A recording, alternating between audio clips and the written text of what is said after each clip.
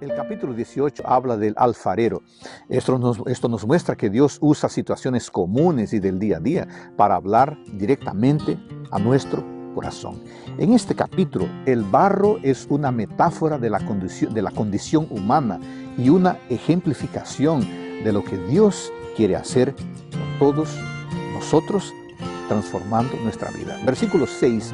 No podré yo hacer de vosotros como este alfarero, oh casa de Israel, dice Jehová. He aquí que como el barro en la mano del alfarero, así sois vosotros en mi mano, oh casa de Israel. Qué lindas palabras.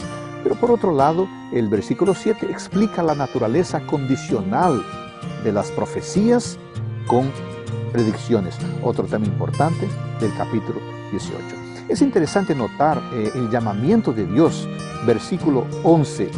He aquí que yo dispongo mal contra vosotros y, y trazo contra vosotros designios.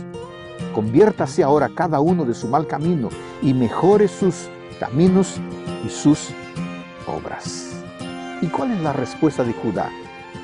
Judá prefiere caminar en sus propios caminos.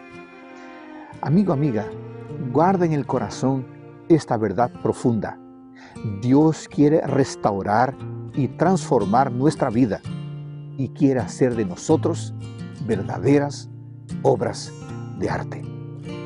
¿Aceptas la propuesta de Dios? Por favor, abre tu corazón y tu mente a Él. Él te va a transformar.